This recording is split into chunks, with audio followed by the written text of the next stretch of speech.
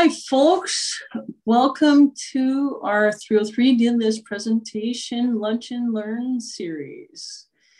Um, this is being presented by ECOSS and Washington Stormwater Center. And the Department of Ecology is helping us out today with the presentation. Um, and the workshop is funded by the Boeing Foundation. So thank you uh, to Lori and those others on this call that are from Boeing.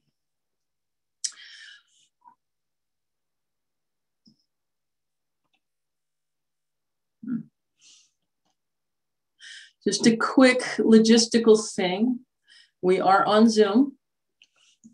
It's being recorded, and so it will be available after the fact if you would like to watch it again or um, ask for it for someone else. Uh, all attendees are muted and have their video off.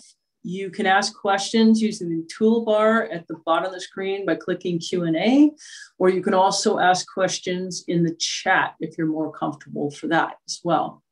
Um, you, when I, I know there's a couple phone in, so maybe perhaps, I don't know if you can raise your hand or just unmute when we get to certain points. But what we're going to ask you is um, you are welcome to ask questions at any time throughout the presentation so that um, if you have questions in the moment on a slide and need clarification, we want you to be able to do that. So make sure that you do um, ask your questions as we go along. We figured there'll probably be a lot of questions at the end as well. So it's probably better to get the questions asked as we go. So my name is Ann Boyce, and I'm a Stormwater Outreach Program Manager for ECOSS. I've been there since 2011, and I host and manage the Industrial Stormwater Management Workshop Program, as well as the Municipal Stormwater Training Program. Um, I also do a lot of outreach to small, non-permitted businesses uh, on pollution prevention and stormwater runoff, doing spill kit trainings um, for small businesses. I do a lot of educating of businesses and recycling, composting, haz waste handling, and fats oils and grease. I'm going to turn this over to Lisa so she can introduce herself. Oop, wait, sorry. I, I'm okay. going to, sorry, ECOSS is a nonprofit. We've been around for over 25 years.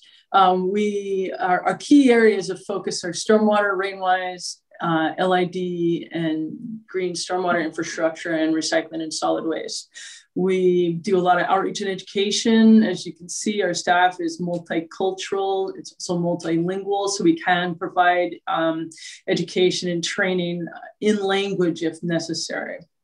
We do employee trainings, such as coming out and doing spill response trainings for your um, business, and forums and workshops. Lisa, now you. Okay, great. Thanks so much. I'm Lisa Rosman. I'm the Assistant Director of the Washington Stormwater Center. Um, and the Washington Stormwater Center is a collaboration between the University of Washington, Tacoma, and Washington State University.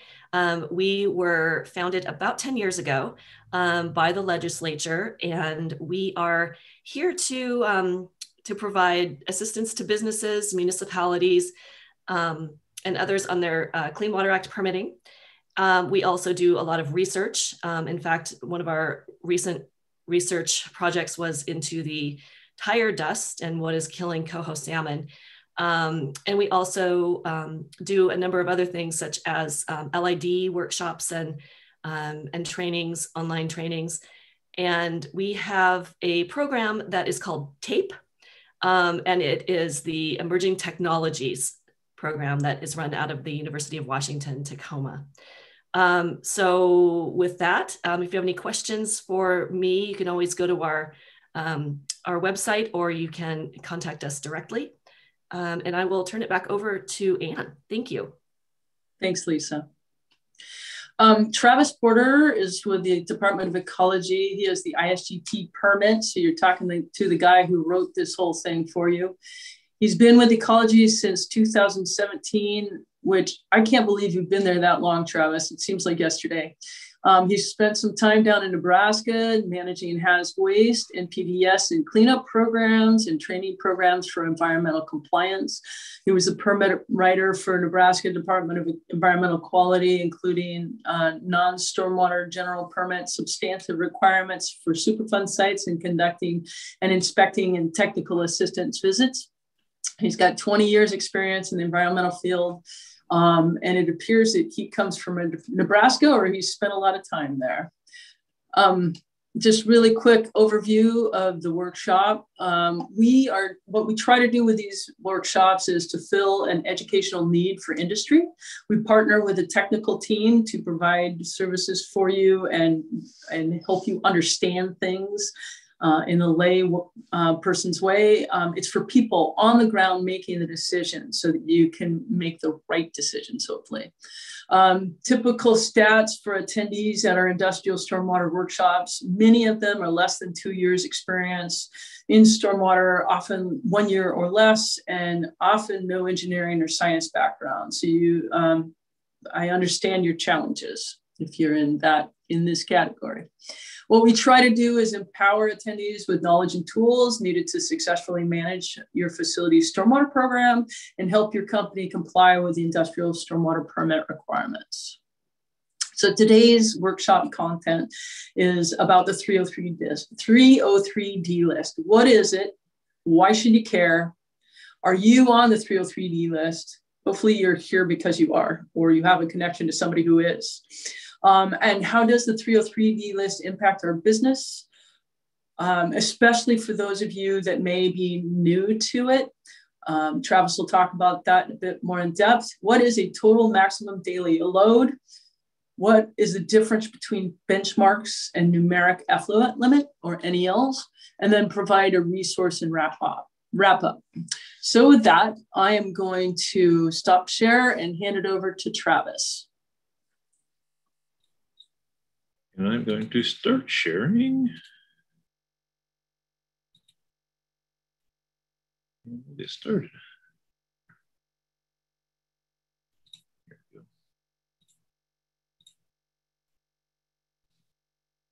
All right, and hopefully you all can hear me okay. Um, like Ann said, I'm Travis Porter. I've been with Ecology since 2017, and yes, it does seem like it was just yesterday. Although that's coming up on four years ago now, which is really weird to think about. Um, but we are talking today about uh, basically Section 6 of the ISGP um, discharges to 303D listed impaired water bodies and what that might mean for facilities who have to do that um, compliance wise and, and things to kind of look out for. Just a quick background on what all this stems from. Uh, the 303D list is really it's not really a list. It's requirements under the Clean Water Act.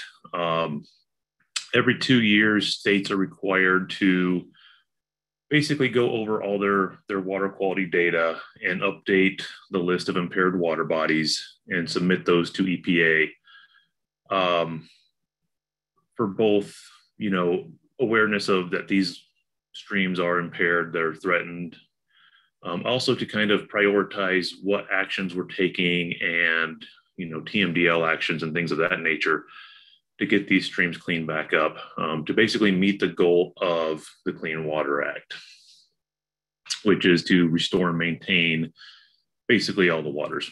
Um, easy way to think of that is keep them fishable and swimmable. Going over the impairments real quickly, I actually listed them here out of order on purpose because whoever decided to number these or name these at EPA a long time ago um, should not have named them. It's, it's confusing as crap. So the easy, well, not easy, but category 4B and 5 are really the two that we're concerned about. Uh, 4B, they're impaired, but we don't need to do a TMDL on those because we either think that the stream is getting better, or we believe that through permitting actions, um, non-point source actions, education, we can get those streams back into uh, the non-impaired state um, without having to go through the whole TMDL mess. Category five, those are definitely threatened. Um, you know, definitely think of like the old school Cuyahoga River starting on fire. Um, we're not that bad, but category five, it's threatened. Fish are probably not doing so hot in those streams. Uh, the only way we're going to get those back is to go through the TMDL process. Um, if they're category five now, there are TMDLs, they're, they're on the list to have a TMDL written for them. And then for some reason, they decided to do a category 4A, which doesn't really match because category 4As are impaired, but there's nothing more to do because they've already got a TMDL for them. So I don't really know why they've numbered them that way, but really the ones we're going to be focusing on today are the 4Bs and the 5s. So what is a TMDL or a total maximum daily load? Smarter people than I have the, the, the fun task of going through um, all the water quality data and they will calculate out based on the types of discharges to that water body, number of facilities, um, all that, and come up with a number that everybody can basically legally discharge that won't further impact that stream and will actually help it get better. Um, we call these waste load allocations. And so, for example, um, one that, that came up recently was the White River uh, around Tacoma. They're working on a TMDL. I don't know if that one's been approved yet or not, but it, it's going to work for my example. They have multiple facilities, so a couple MS4 permittees some individual permits, some sand and gravel permittees, some industrial stormwater, construction stormwater permittees, all in this water body. And so what they had to do was look at each one of those permittees, the types of discharges they've got, and calculate up how much of that certain pollutant they're looking for. In this case, it's total residual phosphorus, and make a number of during these times, this is how much you can discharge. And so that's the whole thought process behind what a TMDL is. Uh, as far as the ISGP is concerned, um, we do have the clause in there that if there's a TMDL, you have to comply with that TMDL. Um, so if you go and read those, whatever that number is, you've got to meet that number. They cannot be exceeded.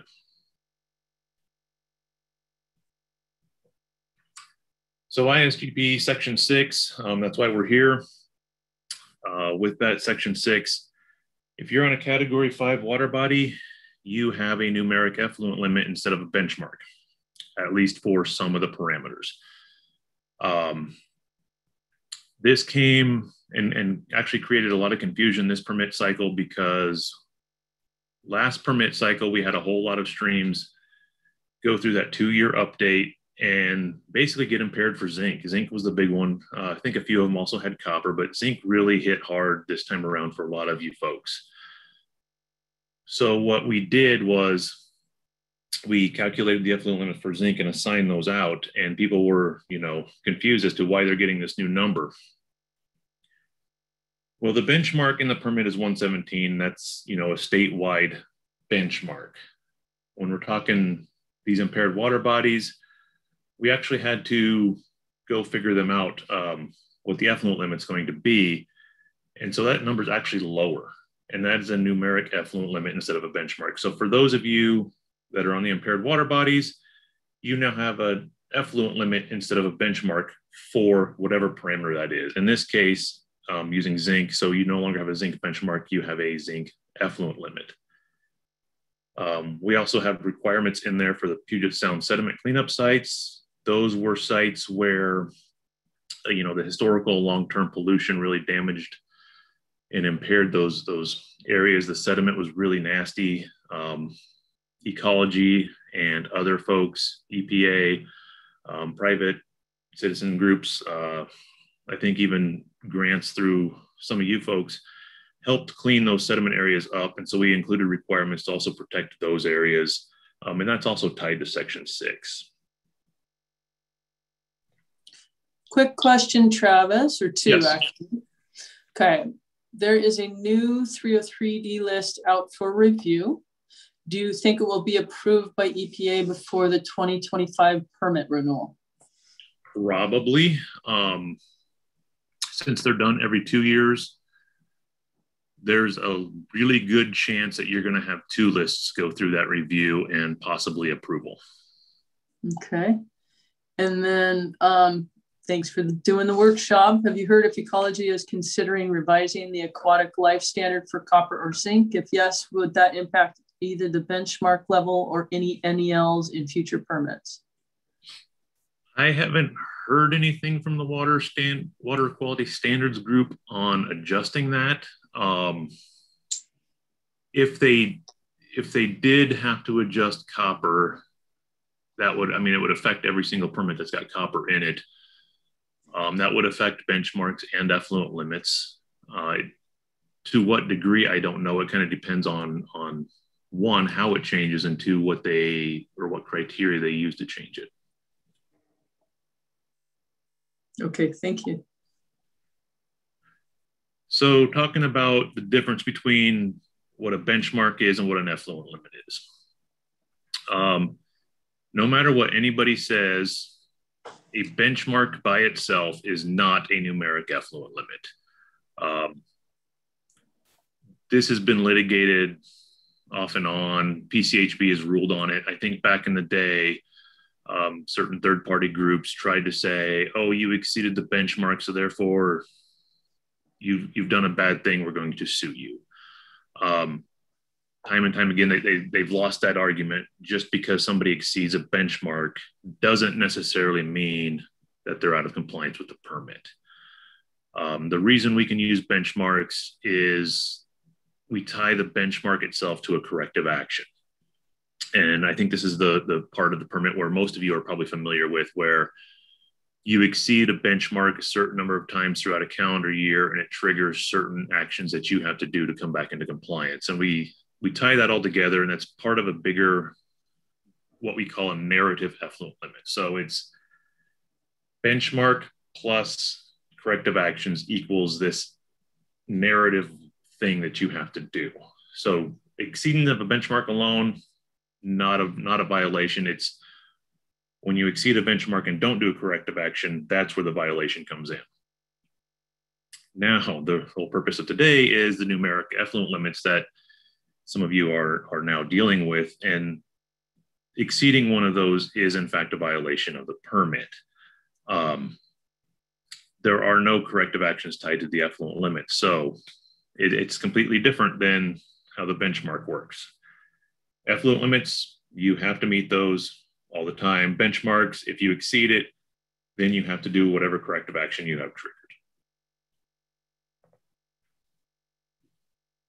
So what this means when you're, when you're looking at your permit coverage sheets, um, since this is new for a lot of you, and, and this is when you really noticed it, um, effluent limits are assigned at time of coverage. So for all of you permittees who were, you know, had your permit back in 2015, if this is something new for you, you notice that this really hit January 1 of 2020.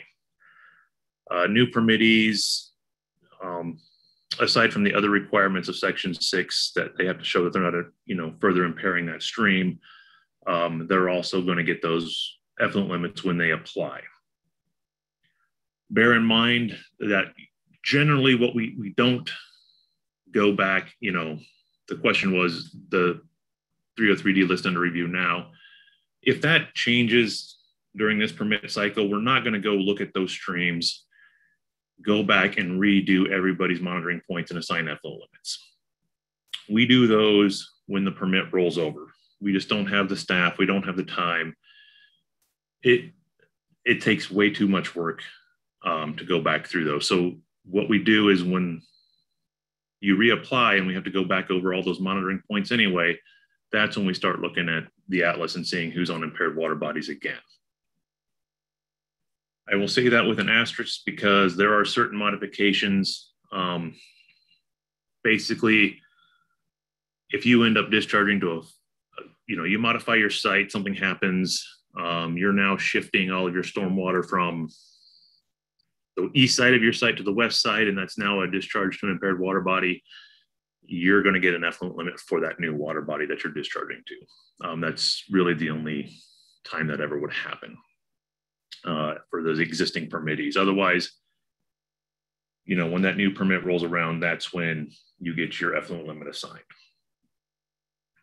The way we did it this time, again, I think when I pulled the last list, when we were trying to figure out how we were going to do this, um, it was something like 3,000 monitoring points were now on impaired water bodies or on new impaired water bodies for the 2020 permit. Um, again, the bulk of those were for copper and zinc and mostly on the west side. There was really no way to go back and calculate individual effluent limits for each one of those sites. Um, and we, we struggled with that a little bit.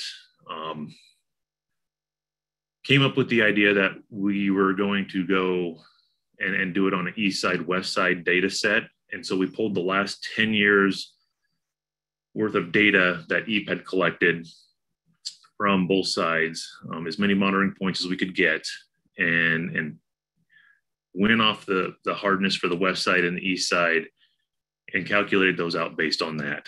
Um, instead of taking probably what it would have taken two years to pull all that data for each individual site. Um, like I said, that it was something like 3,000 monitoring points that now have effluent limits tied to them um, because of that switch. Uh, the other thing we did this permit cycle, it was removed last permit cycle. We're not sure why. I'm guessing somebody got creative with the delete button, um, but you got the compliance schedule back. So for you facilities who were dealing with a benchmark previously. So I'm going to use zinc again as the example. In 2015, you had a zinc benchmark. 2020, you now have a zinc effluent limit. You have a compliance schedule built in until January 1st of 2022. And the reason we put that back in was really thinking about it, you know, permittees who have been dealing with that benchmark of 117 may have installed treatment to hit 117 and now they're trying to target a lower number. Um, and so this gives them two years to really dial in their new treatment, um, get that system upgrade done, sample, figure out where they're missing, what's working, what's not, and get those treatment systems dialed in. Um, so that's that date's coming up. You got, I think, eight more months before that date really hits. So um, hopefully, most of you are, are getting that dialed in. Travis, we got a couple of additional questions. Okay. Are the benchmarks and effluent limits in force in parallel, or does the effluent limit replace the benchmark? The effluent limit replaces the benchmark. Okay. And then another question we usually average all of our required monitoring parameters except pH reported individually. In our memo to ecology, we add in a table with the averages of all our values. We have benchmarks for fecal coliforms and E. coli. Should we report straight averages or geomean averages for these two parameters? And they do not have a numerical limit on fecal or E. coli. Yes, with fecal and E. coli and enterococci, there are no actual numerical limits. It's a report only. However, there are BMPs in the footnotes of that table, um, or a note on BMPs about you know doing extra things to, to try to keep those numbers down. Um, the question on which if it's the straight average or the geo mean, um, whoever had that question, if you could send me that email and I need to look at that and get back to you. I believe it's the actual, I think it's the geomean when you're talking E. coli. I have to go back and actually look at the standard again.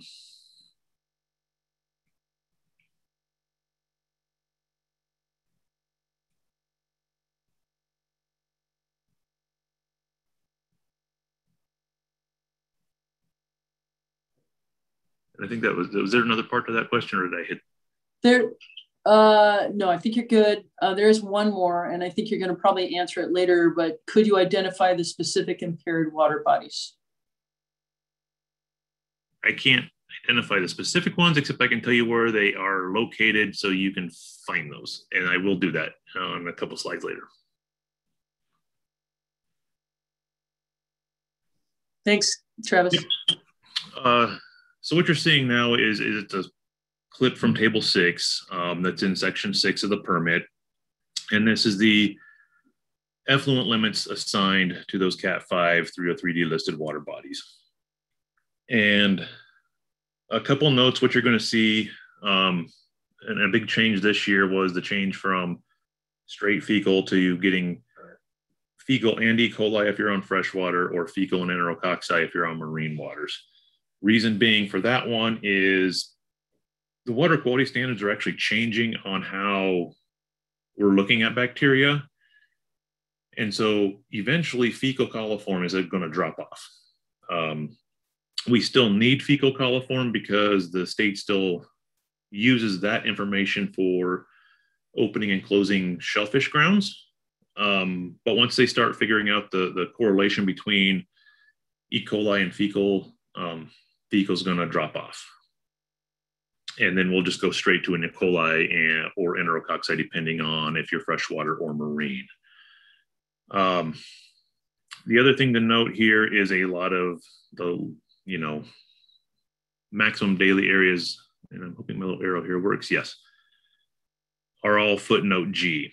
And what G is, is assigned at time of issuance. And that's because these parameters all require some sort of other information in order to calculate that number. It's not a straight um, number, with the exception of the metals to marine discharges. We could have put those in and we didn't. Um, and we got called out for that during the appeal. And that's likely going to be fixed next permit cycle. So the marine will actually have the number in here because uh, that doesn't change. Um, but again, for the freshwater side, especially you know ammonia, copper, and lead, and I think we've only had one ammonia that I'm aware of that we had to calculate out. Um, for ammonia, you know, you got to know whether it's a salmon stream or not, and then the temperature and something else. Um, copper, lead, and zinc, they're all hardness based. And so we have to go, you know, figure out what hardness we're going to use. And like I said, this time around, we did an east side, west side on the hardness. And then pentachlorophenol is very susceptible or, or very variant on pH. Um, it jumps around a lot if the pH even moves slightly. So uh, that one, it used to be a, a, straight number, and we we took that back out because we had some differing data on pHs for pentachlorophenol. And I have only seen, I believe, two facilities actually get that effluent limit assigned to them. I don't believe we have any other ones. Um, but again, this time around, a lot of copper and a lot of zinc got assigned. Oops. And yeah, and next slide is going to show this too. But the other thing to remember is this is a maximum daily discharge. This isn't a quarterly average. Um, and so that's going to be the big difference between the benchmark and the effluent limit is this is maximum daily versus quarterly although the sampling frequency is still once a quarter, your number is based on a maximum daily discharge. So what this means for compliance.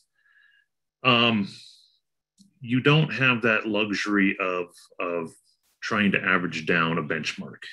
Um, in some cases, the extra sampling can actually assist you on a benchmark. You know, you can you can take five samples and, and get that average down to where you're not having to do corrective actions. With an effluent limit, um, if you're out of compliance, you're probably not going to want to sample again because that could generate a second violation. Because once you exceed, you're already in violation. However, if you did fix something, you may want to sample again to show that you're no longer in violation. So um, those are things that, that as a facility or as a consultant, you're going to want to start thinking about is, you know, how often you're going to want to sample these. Um, if you're in compliance that that once a quarter, that's you know, and you're showing that, that's good. If you're out of compliance, um, you may not want to sample that again until you upgrade treatment or do additional source control or something to make sure you're back into compliance. Uh, like I said before, there's no corrective action schedule. So when an effluent limit, a numeric effluent limit is exceeded, that's that it's generating an automatic violation.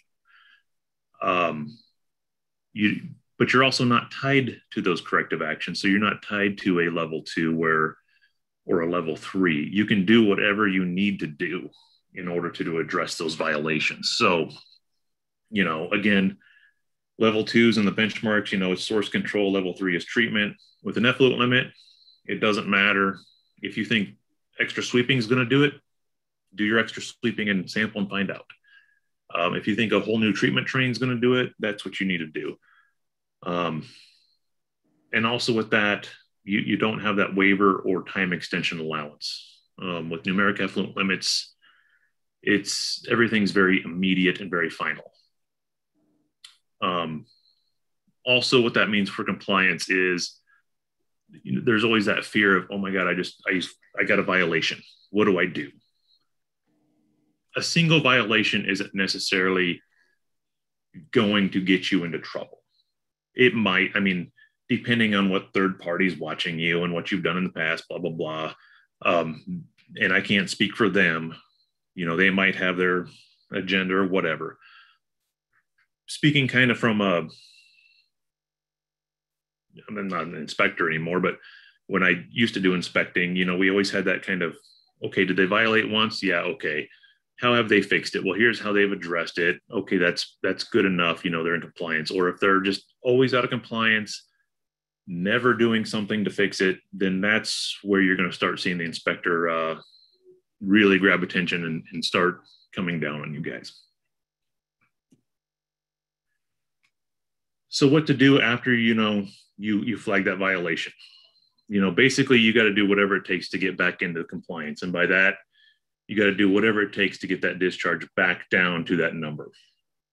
Um, you got to call us within 24 hours uh, or or shoot us an email. Um, so, and that's within 24 hours of basically getting your sample results back.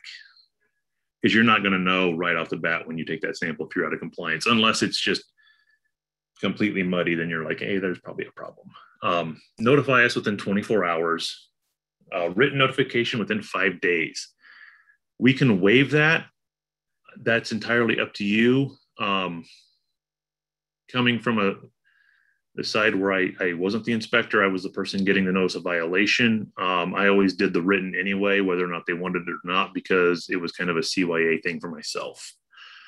Um, so just bear that in mind and, and you know, do whatever you want to do. Um, but within that written, tell us what happened, tell us what you're going to do to kind of fix the problem. And, and you know, you begin addressing the problem. You're not going to have necessarily a full fix within five days. It's just, you know, especially if it's a treatment train type issue, there might be a consultant out there who can diagnose, order things, and have it in place within five days. But if they are in fact out there, then they're probably very, very expensive and not everybody can afford that. Um, just know that, you know, hey, we've hired somebody, they're looking into it, or we think it's a treatment train issue. We're going to attempt these steps. You know, you don't have to go into great, great detail, but the more detail you provide us, the better it shows what you're going to do, that you're moving back towards compliance and then you know we can use enforcement discretion on that like i said generally a single violation isn't necessarily going to bring out you know the inspectors in full force with their little notepads and ah oh, you did bad. We're going to fine you. No it's it's usually a history of violations.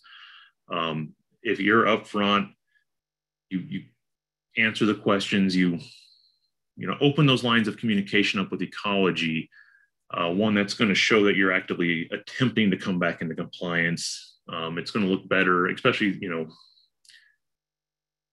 I don't know how it looks to third parties, but it's going to make it a little harder for a lawsuit to stick if you know they're going to show that hey, we're coming back into via or into compliance.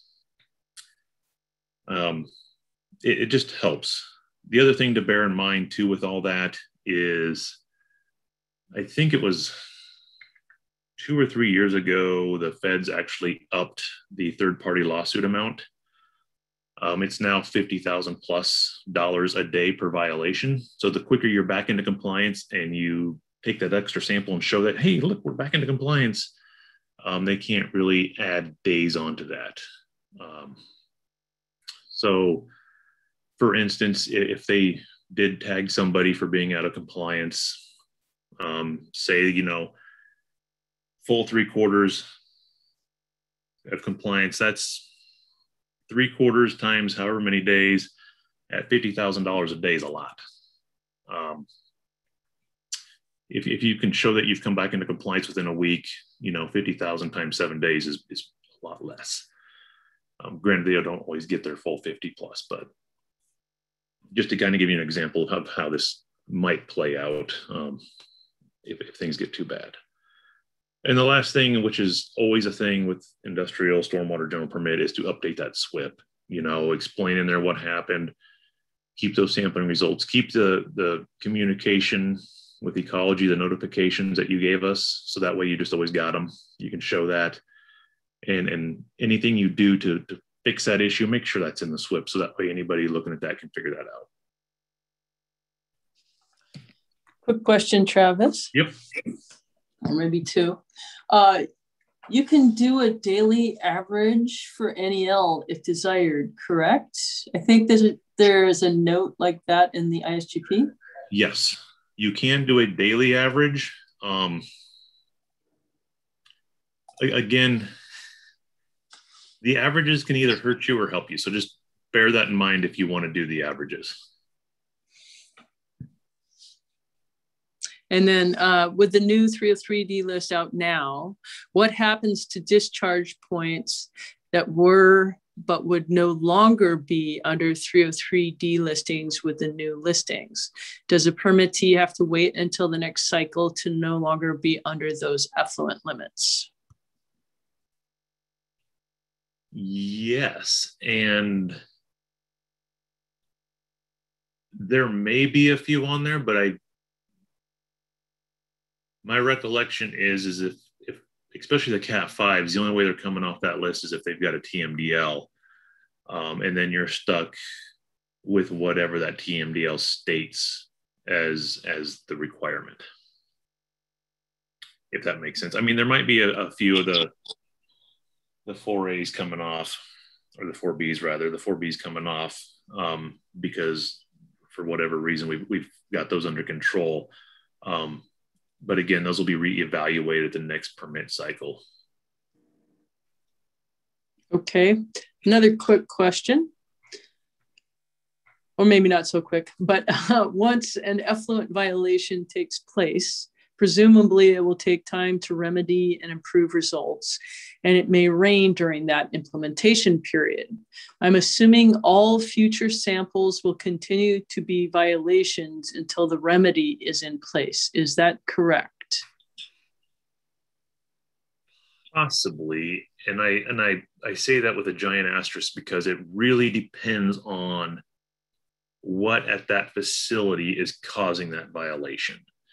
Um, in in several cases, it may be as simple as you know coming in and really you know upping your sweeping from once a month to once a week. That may be enough to actually drop that number down or moving something indoors that might be leaching.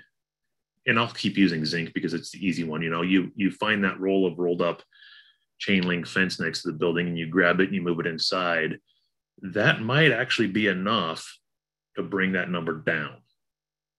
Um, but if it's, you know, if it's your entire building and roof structure are uncoated zinc, that's what's leaching off. Yeah, you're you're going to be out of bio out of compliance until all of that is taken care of.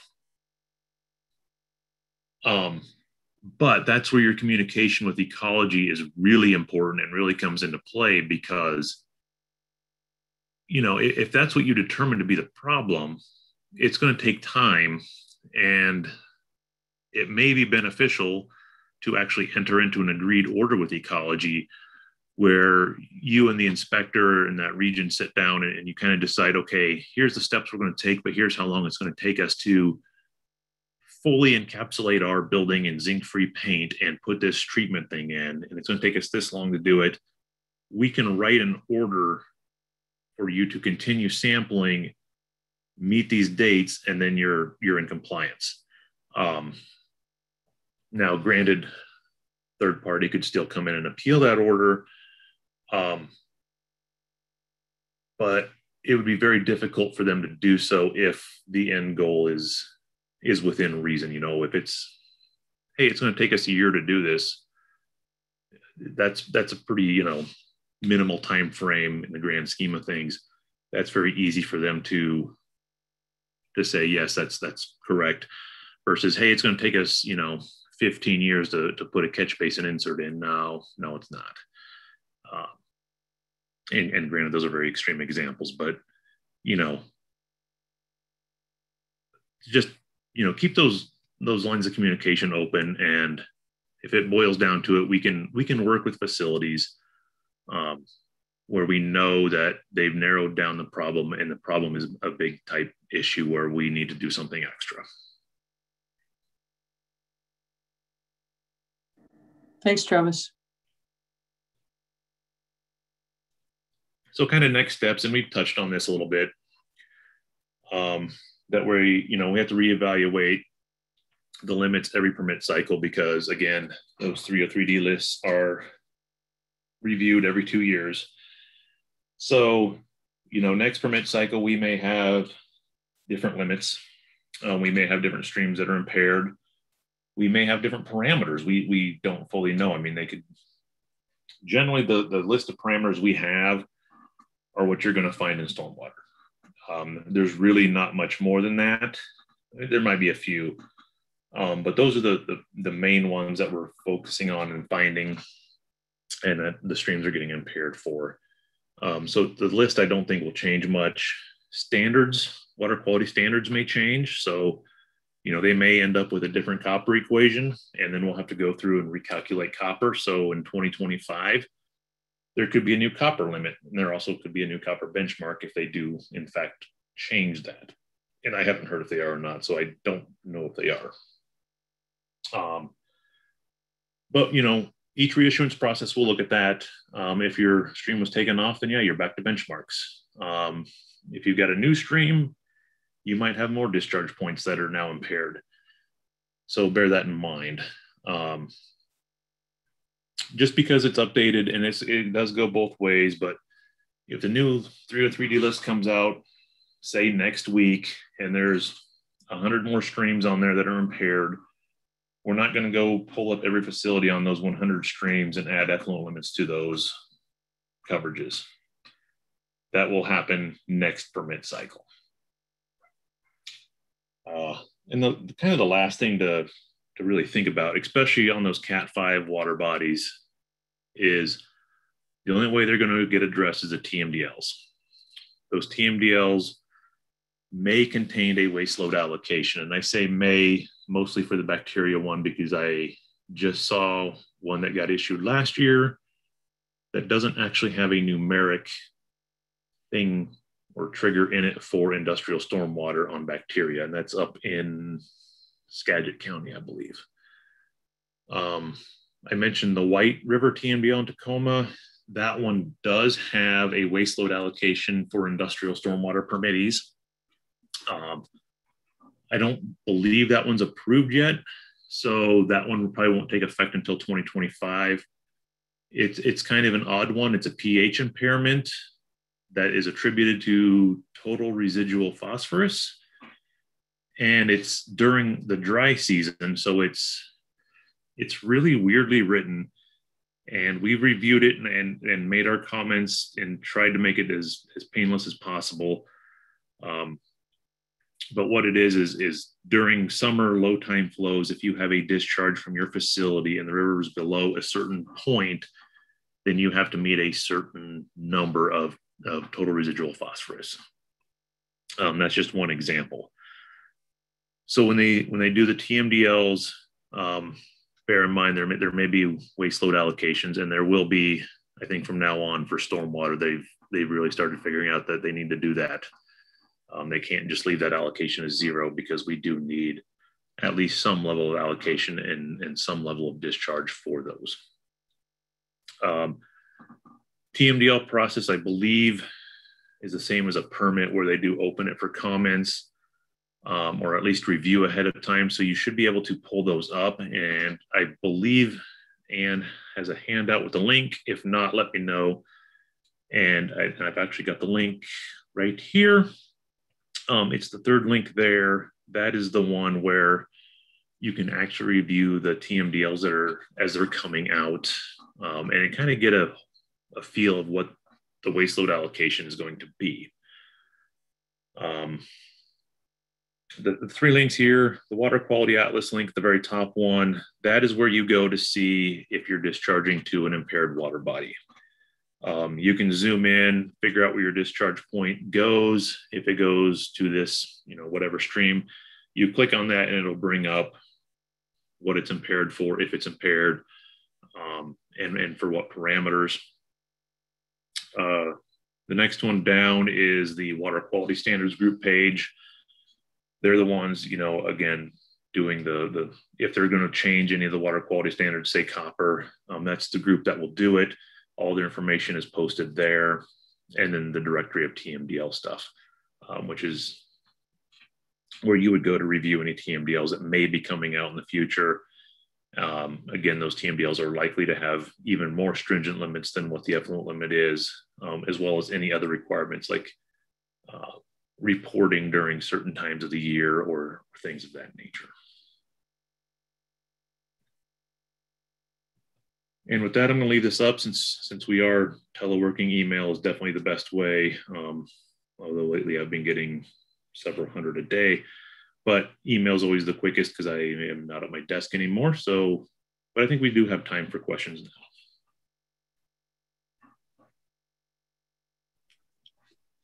Any more questions? Anybody want to speak? I think we can let you speak, perhaps, if you want to.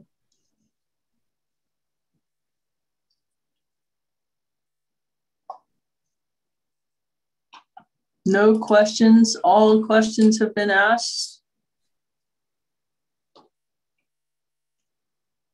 You can use the Q&A, you can use the chat box. It, uh, there's a request to go back one slide, please. Here we go.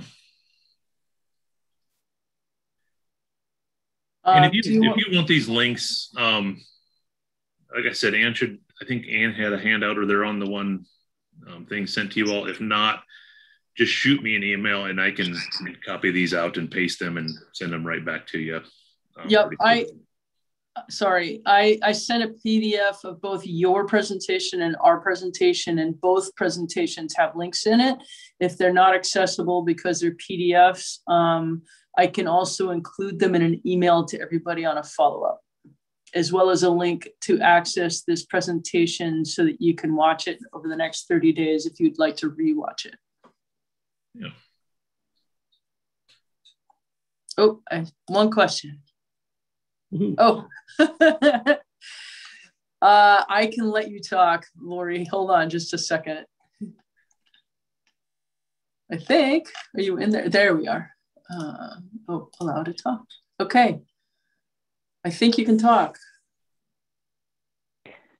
Hi, hi, Travis. It's Lori Blair. How are you? Good. How are you, Lori?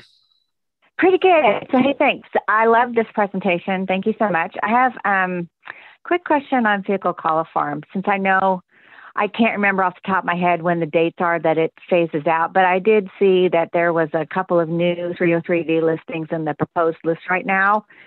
Um, by the time we get to the 2025 permit, do you think that would be, how is that going to work? Right? Because there's a phase and uh, if it's listed now for fecal coliform, but then the, it drops off, but it's on the list, that, that'll seem kind of weird as far as the permit goes. Or will you just adjust the permit to the E. coli or the enteric, I can't say the other word, enterococci? um, we'll we'll adjust the permit, and that's you know that's one of the things. I can't remember right off the top of my head what the implementation plan had for the dates on fecal dropping off. Um, I thought it was before the 2025 permit. Uh, so that's why I was thinking it was going to, you know, next permit cycle fecal was probably not going to be on there. And it was just going to be straight either E. coli or enterococci. Um, mm-hmm. But I'm not entirely sure because I thought it somehow played with how they review the data they get from like the current timeframes on E. coli and the fecal numbers. Um, yeah, I, I, it's a challenge because the current listing is based on data from like 2015 to 2018, and that was before they updated the policy. So I totally get it that all they have right now is fecal coliform, kind of. So it's just so we'll we'll just stay in touch between now and 25 and figure it out, I'm sure. And then I know this isn't necessarily 303D question, and it's okay if you don't know the answer. But you know, um, I was just on a call with the Washington Stormwater Center, and we're talking about um, 6 ppd-q. Don't ask me to actually say the chemical name because that's a tongue twister. Um, do you, are there any thoughts on the policy side of whether or not that might become a monitor.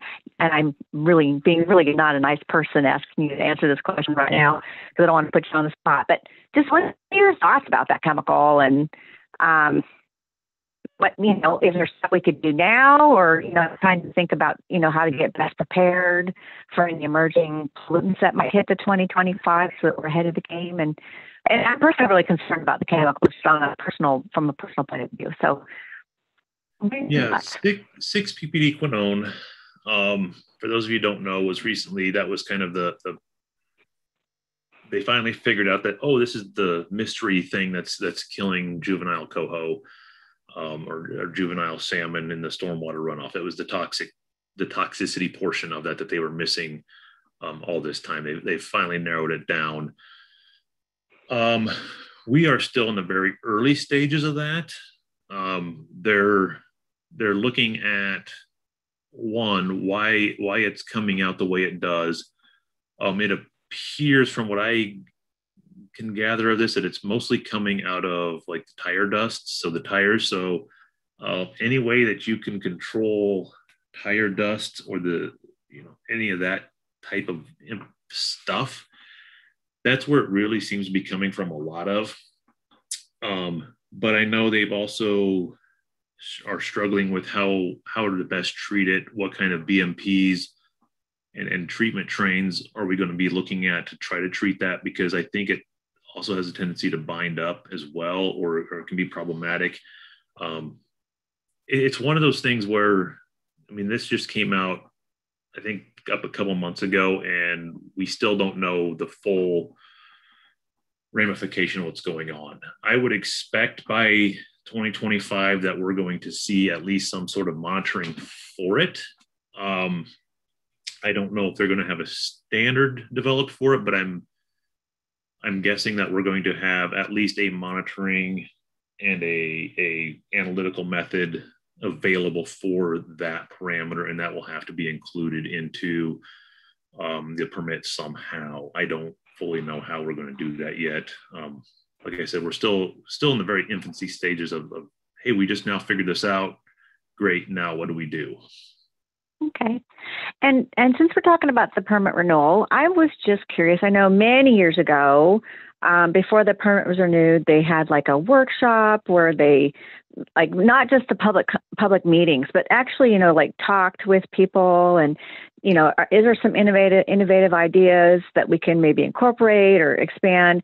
And I know I've been on the um, so yeah, this is Lori Blair. Sorry, still I'm I'm not muted, so haha. Um, uh, so I've you know I've been on the Our Green Duwamish um, team for a while now, and we've been you know really thinking about it's such a safe place to come up with crazy ideas um, and talk about them. And so just something you don't have to answer right now, but just something to think about that, you know, there are so many innovative um, things happening right now with the heat map um, uh, that uh, Geosyntec and the Nature Conservancy is developing. We've, you know, there's all these efforts and all these watersheds that that are so exciting. Um, the permeable pavement project, and you know, we've got some smart technology that we've been researching for green infrastructure. Um, there's just a lot of innovation going on. And I think it'd be awesome if there's some way we could, like maybe in 2023, Um, so it's not the pressure of the permit renewal, but maybe we could just have some like talking sessions with you and like a bunch of us, right? Not just, not just, definitely not just Boeing, but, uh, you know, a bunch of us and like what works, what doesn't work. And maybe the Stormwater Center and ECOSS can, can help facilitate all that. And, um, you know, just, you know, just some idea, just an idea to think about because 2025 is, you know, it's a bit of ways away. So we have time to think about it. Yeah, it's it's a little ways away, but as quick as this last year and change have gone, it's going to be here before we know it. but I, I, know what you're talking about. We have done that in the past, and I think, and I don't know if Boeing was, and, I, am picking on you, Lori, because I can because you unmuted yourself. I don't know if Boeing was in on that original letter, um, but I thought a group of permittees had gone to um, Maia to kind of try to get something going for the 2025 permit reissuance um, when Director Bellon was still here. Um, as, as many of you may or may not know, Director, Director Bellon moved on and now Director Watson is in that spot. Um, and I don't I know. didn't know about that. Oh, I'm sad I, I wasn't part of that. Oh my gosh. So um, now we have Director Watson. Uh, there is a I think there is a formal process you go through to get this like the stakeholder group thing back together. Um, oh, it's I think it's on our webpage. I okay. If I'll I can follow up with an link, email to you. I'll follow up with an email to you, and we can. And I don't want to take everybody else's time that's on this call, and um, because that's easy for me to do. So I want to be, you know, respectful of everybody else in case they have questions. But yeah, I'll follow up with you afterwards. Yeah, that's good. Awesome. I'll, I'll actually, if I find the link, I will send it to Anne and Lisa to blast out to everybody else as well. Um, if that is something that you guys are interested in doing again, um, because there, there is a formal process and it would be interesting to see, you know, how many folks would like to do that. So I'll send that to, to Anne and Lisa to blast out to all of you uh, as soon as I can find it. That would be great, Travis. And I, um, I do have several questions. Um, this one says, I don't see the NELs referenced on my web DMR, only benchmarks.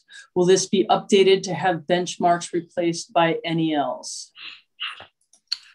If it's the lower NEL number instead of the benchmark, yes. And the reason being was that compliance schedule, that two year compliance schedule. Um, while that's in place, so that way you're just not generating a violation after violation after violation. Um, we leave them as benchmarks, and then January 1st of 2022, those should go from a benchmark to a limit. And I will confirm that with IT. Um, last I checked, we were still on that sort of schedule that was supposed to happen automatically. But since you say that, and I know how well computers work, I want to double check that for sure. Okay. Um, I also I see the Duwamish is being targeted for ammonia N. None of our benchmarks are related to ammonia. I may be confused. Um, and there might be, if the stream's impaired, um, you'll still get the ammonia. Um, but for some reason, I don't recall the ammonia effluent limit for the Duwamish. I don't, it might not be a Cat 5. I know there's a TMDL for ammonia, but I thought that was strictly for the wastewater plant upstream. But I, I'm not 100% sure. I haven't to actually go look at the atlas to figure out on the Duwamish. Okay. Um, are you anticipating PFAS benchmarks or effluent limits in future general permits, or maybe only case by case basis? Any insights? Yeah, on PFAS, PFOA, I'm not sure. Um, I haven't seen any movement in the standards group. Likely, if, if we do it for the ISGP, it's probably going to be on a case by case basis um, where we find it or, or, we, you know, recognize those hot spots. Um, I don't, I don't, unless something changes in the next, you know, next two years with the standards group, I don't see it really coming in. Um, at least not as an effluent limit or a benchmark. Uh, it might be one of those report only type scenarios, kind of like the the fecal or the new groups that we did, um, where it's it's not a a set number. It's you know tell us what's discharging. Um, but with PFAS and PFOA, the sampling for that is really really difficult. Um, in fact, your sampling gear itself can actually really throw those tests off. And so I think they they need to get a better wrap or a better understanding of analytical methods and how to sample for that before um, we're going to be incorporating any sort of benchmark or limit into the permit for PFAS. Okay. Also, um, would you please spend some time talking about S6A, specifically what indirectly or directly or indirectly through a stormwater drainage system means in terms of pipes, ditches, streams, etc permittees that discharge to an impaired water body either directly or indirectly through a stormwater drainage system shall conduct sampling and inspections in accordance with conditions S4, S5, S6, and S7. Thanks. Yeah, and that's mostly uh, the, the, best way to think about that are the MS4 systems. Um, if you discharge to an MS4 system that discharges to an impaired water body, then you're still stuck with the impaired water body standards. Um, so for those of you in, in you know highly urban areas, i.e., Tacoma, Seattle, Olympia, even to a smaller degree, um, if, if you're discharging to that the storm sewer that the city has, um, that's their MS4 system, and it discharges, say, uh, to the impaired river um, two miles down the way, that's going to be your discharge location, is where that MS4 system discharges. I will say that gets really, really, really tricky in certain areas. Um, and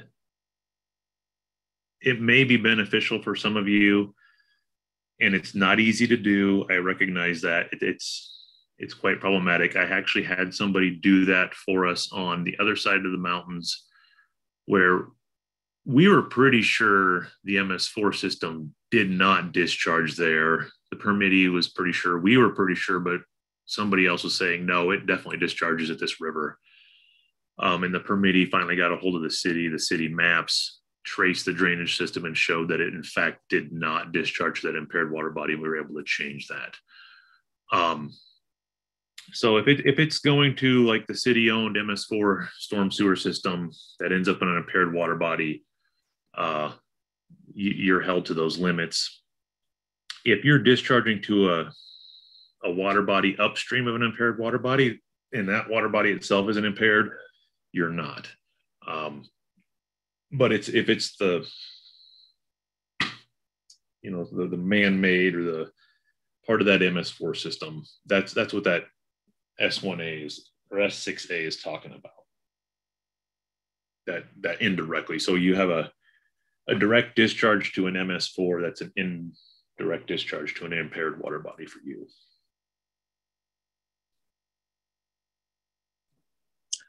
Okay, that's the last question I have so far. Are there any additional questions that you have for Travis?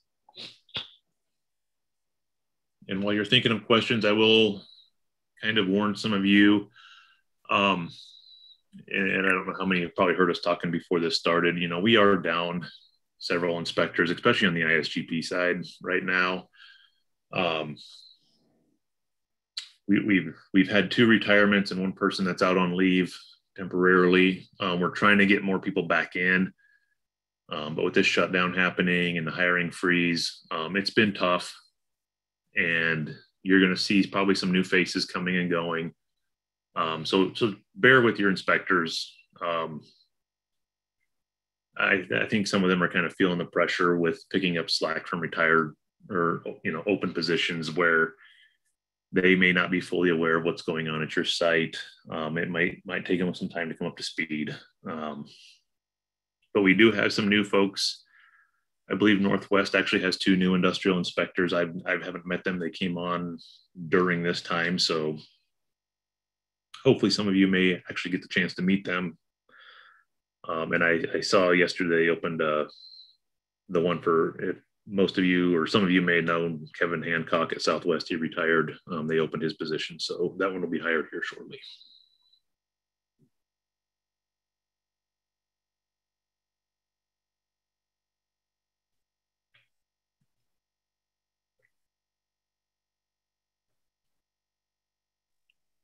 It looks like we have one more question. Um, and I'll go ahead and read that one if that's okay. We still have time. Oh, yeah, we're good. Um, the EPA multi sector general permit and many other state ISGPs include natural background waiver provisions. Is ecology considering including this in the next permit? Seems important for nutrients and turbidity where these constituents can be naturally occurring in watersheds and groundwater.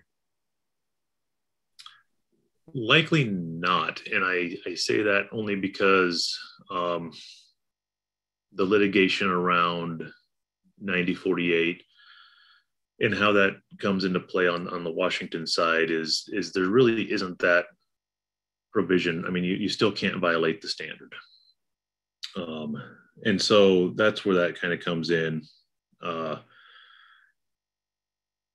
I, I've seen those those sort of provisions um, I think EPA actually got hammered on theirs pretty hard a couple of times with having that in there. Um, it's a very difficult thing to show and to prove that you're not, I mean, even though the background is there, um, that you're not still contributing, but you know, you're still responsible for coming off your site just because the, the river has a high turbidity and it doesn't mean we can put any more turbidity in there. Um, and so that's something that you know they're not really real crazy about putting in to the to the permits.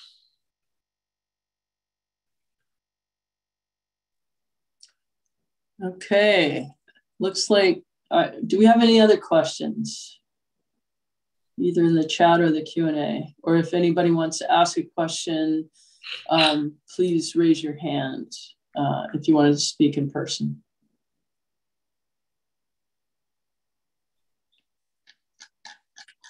Okay.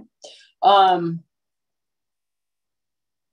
I think uh, we will provide um, Travis's uh, information. Um, and I'm going to finish off here uh, with the rest of this presentation. Sorry.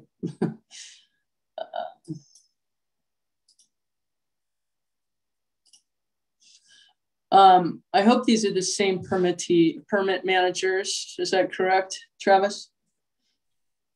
I think so, with the exception that um, Melinda Wilson is also a permit administrator, and and I the up if the website, the ISGP website for ecology hasn't been updated yet, it will be shortly with the new county assignments. Um, but if if you if you're not sure who your administrator is, um, go to the, the ISGP webpage, um, just do ecology, industrial stormwater general permit in Google, and it should be the first thing that pops up. And towards the bottom is a list of, of who to contact for what county. Okay, thank you. Um, again, here's the list of resources. I will send this out also in an email, so it'll be very accessible. Uh, Travis's contact information, um, I can also send that in the email so it's more accessible. A couple classes that we're doing right now, we do have a free um, webinar based 100 basic building blocks of stormwater permit management that ECOSS and Washington Stormwater Center did together. It's available online. Let me know if you'd like a link to it. It's kind of a nice, it has two parts and there's an exercise in the middle. Um, it's um, good for people who aren't necessarily the main permit manager, but helpful for a lot of um, people who are assisting managers. But also, if you're just starting out, it's a kind of an easy step in to get into the understanding of the basics of the permit. We also have a series of four webinars we call 101 Stormwater Permit Management Fundamentals that goes over a variety of different things. It goes much more in depth than the free workshop. These are available through our website. Um, And uh, yeah, are there any additional uh, Q&A? I'm gonna have to let you do it, Lisa and uh, Carrie.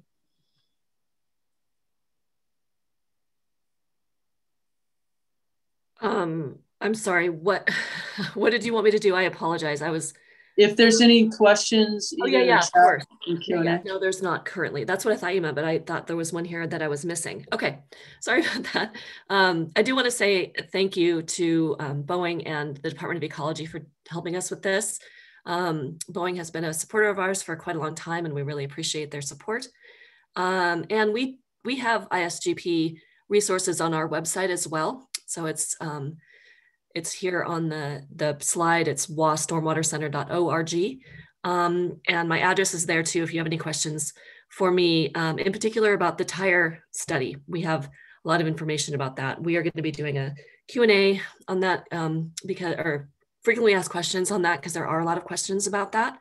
Um, and a sort of a two page explanation of what the issue is and how we're working to solve it. So thank you again.